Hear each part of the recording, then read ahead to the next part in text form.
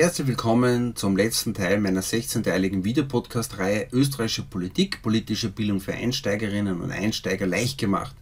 In der Videobeschreibung hier unten sind die anderen Teile verlinkt. Jahrelang versuchte die österreichische Bundesregierung die Unabhängigkeit des eigenen Landes und somit den Abzug der alliierten Soldaten aus Österreich zu erreichen. Es scheint aus Sicht der österreichischen Politik damals immer schwerer, dieses Ziel zu erreichen, da die Alliierten mit Fortdauer des Kalten Krieges sich immer schwerer bezüglich der österreichischen Wünsche einigen können und letztlich unterschiedliche Pläne verfolgen.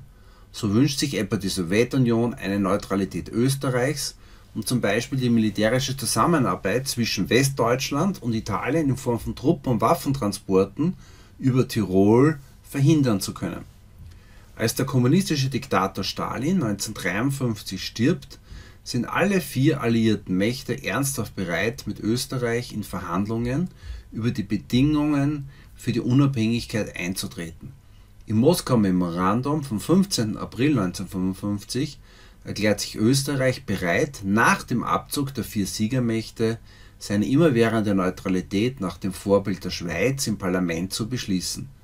Genau ein Monat nach dem Moskauer Memorandum wird am 15. Mai 1955 der sogenannte österreichische Staatsvertrag zwischen den Außenministern einerseits Österreichs und andererseits der Sowjetunion, der USA, Großbritannien und Frankreich in Schloss Belvedere in Wien unterzeichnet nach der Unterzeichnung des Staatsvertrages kommt es schrittweise zum Abzug der alliierten Soldaten. Am 26. Oktober 1955 erfolgt im österreichischen Nationalrat der Beschluss der sogenannten immerwährenden Neutralität mit einer Zweidrittelmehrheit. Die Neutralität ist also ein Teil der österreichischen Verfassung.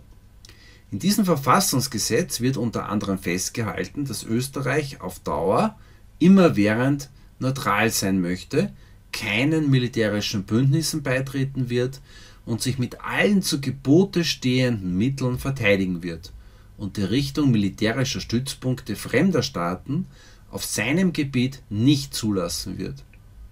Die Wortwahl mit allen zu Geboten stehenden Mitteln bedeutet, dass sich Österreich verpflichtet, eine Armee zu unterhalten, die ausreichend mit Personal und Ausrüstung versehen ist, damit das eigene Land wirksam geschützt werden kann.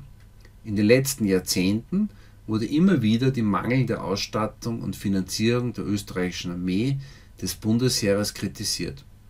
Zur Erinnerung an den Beschluss der Neutralität wird dieser 26. Oktober von 1955 bis 1964 als Tag der Fahne und seit 1965 als Nationalfeiertag gefeiert. Außenpolitisch versuchte Österreich, die eigene Neutralität zu nutzen – um in Konflikten zwischen verschiedenen Staaten vermitteln zu können.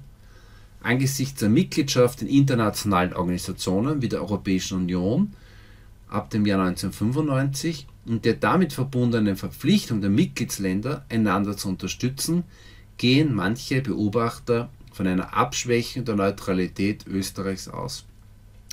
Danke für deine Aufmerksamkeit und wir sehen uns sicherlich wieder in einem anderen Video.